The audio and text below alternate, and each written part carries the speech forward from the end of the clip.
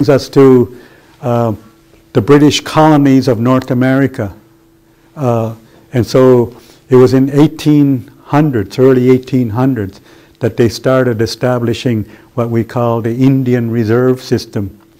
They set aside large plots of land, like 1,200 acres of land for my community in New Brunswick in 1802.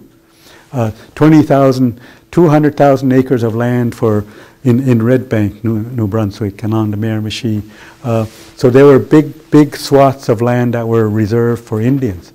And then when the Loyalists left, what happened is they settled themselves on those reserves, and because their, their governments were uh, relatives of theirs, their uncles, their aunts, and whatever, what they called the Loyalist uh, compact. The original settlers were disaffected Loyalists from Boston, New Hampshire, New York, and so on.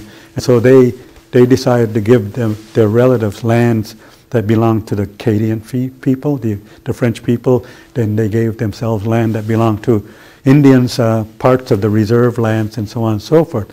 So finally, by, by 1867, uh, they had developed policies in the colonial areas of New Brunswick, Nova Scotia, Prince Edward Island, and they had uh, commissioners of Indian Affairs who were managing the reserve lands. They had Indian Acts to determine uh, how, how they would provide uh, uh survival, sustenance for the Indians because they were slowly being uh, captured on, on small pieces of land and they were told, don't trespass on those territories around you.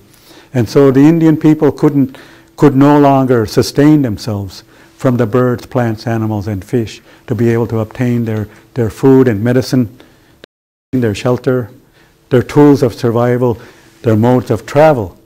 And so when the government of Canada formed in 1867 with the British North American Act, which is really an act that belongs to England, and it is a British law that created the government of Canada. A federal law Section 9124 and Section 90, 92. One are the responsibilities. Section 91 is all the responsibilities of the federal government. Section 92 are all the responsibilities of the provincial governments, including like education in the provinces. They also deal with uh, highways in the provinces, roads, bridges. Uh, they also dealt with uh, um, trees, plants, uh, birds, fish, and uh, certain laws. And then the federal government took the responsibility because they were the closest to the, to the British Crown with the Governor General representing the British government. They said, well, since those treaties are still unfulfilled promises of the British Crown, we'll take responsibility for the Indians. We'll look after them. So the provinces stayed out, out of looking after the Indians because they were slowly being into small uh, pieces of land. And so they were basically starving to death because they were not having the sustenance that they used to have before in terms of having the caribou, the, the moose, and the deer populations going past and migrating here in, during the winter and the summer and so on and so forth. So they were slowly being corralled. And by 1876, the federal government of Canada developed an Indian Act, an act to protect the rights of indigenous peoples in Canada, Indian people, and the right to protect the, the Indian reserves set aside as lands for Indians, specifically for the Indians. And 50 years ago, I used to see signs on our reserve uh, saying, no trespassing, this is Indian land. White people were not allowed to go into Indian reserves as early as 1950s, 60s.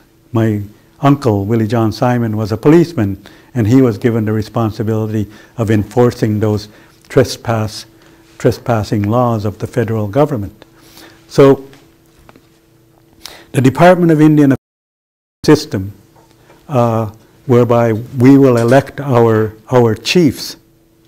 And so beginning in the 1880s, our people were told, now you have to do a democratic uh, process in electing your leaders. And so our people elected the traditional leaders that had been on the Mi'kmaq Grand Council from before, from a long time ago.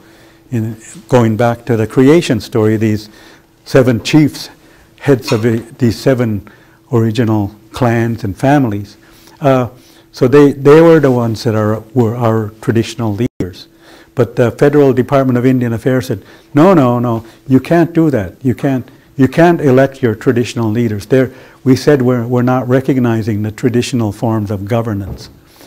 These call, they were called life chiefs. When, when the life chief dies, well, we're no longer going to have this system anymore. So, uh, but the Indians kept electing their the respected elders and the respected leaders that they knew as their leaders. And there was lots of letter writing back and forth with lawyers and, and chiefs who hired lawyers to Indian Affairs telling them, look, uh, our people elected us. They nominated us, they elected us, and we're hereditary chiefs and we're elected chiefs, all in one. So Minister, Superintendent of Indian, Minister of Indian Affairs or Superintendent of Indian Affairs issued a letter to the chief saying, you're, you're not recognized, you're, you're dismissed. You're a chief under the Indian Act. So we're going to have another election. And they, they had other elections, and the people nominated the same people and elected them again. And this happened three times over in some of the reserves, and, and so finally the Federal Department of Indian Affairs and said, oh, well, let them be. And uh, as soon as they're these elders and leaders die off, we'll, we won't recognize the, the old system. But uh, guess what? I'm still here as a hereditary chief. Uh, and I'm still recognized by my own people as, as uh, their traditional uh, respected knowledge keeper, um, holder of their traditional creation story, uh, a carrier of, of their sacred pipe, and, and so it is uh, a wonder that our people survived. In the middle of 1800s, around 1850, there were only 1,500 Mi'kmaq people left in the Maritimes. 1,500. And we've, we've managed to, to uh, intermarry with the Irish, the Scottish, the French, and, and build our culture, our Mi'kmaq society back to roughly around 40,000 today. That's how many people are, of Mi'kmaq ancestry live in the Maritimes.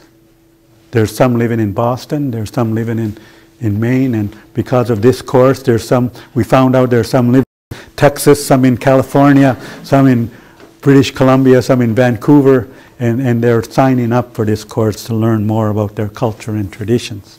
So, um, so that brings us to the Indian Act system, which is more or less a colonialistic way of, of allowing the Indians to count them, to identify who they are.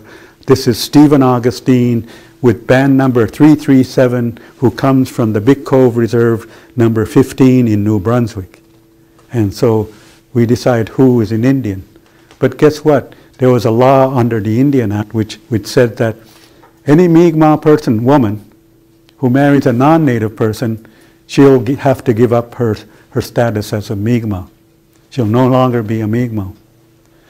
But if I were to marry a white woman, this is before 1985, she would status as an Indian. And so there was a court case uh, that went to court. Uh, it was called the Sandra Lovelace case and it, it, it married up with uh, uh, Lavallee in Ontario, and together they went to the human rights and to the federal courts of Canada, finally the Supreme Court. They recognized that this section of the Indian Act was, was uh, discriminatory against Indigenous women.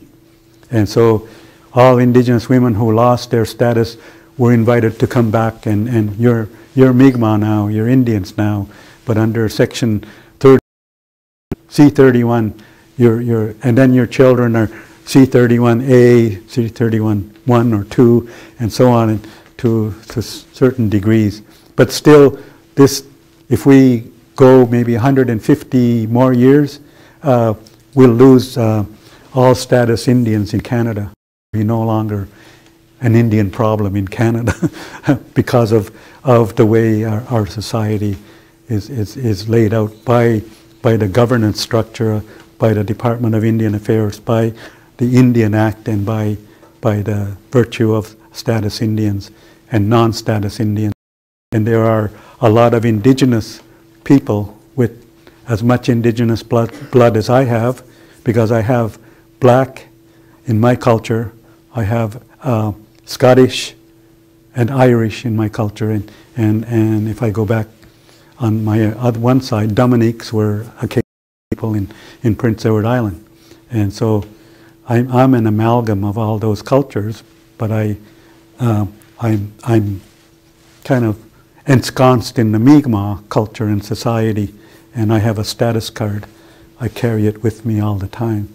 Uh, sometimes I can get away uh, to not pay tax uh, if I buy something in Sydney or in Halifax, but not in New Brunswick and not no longer in Ontario.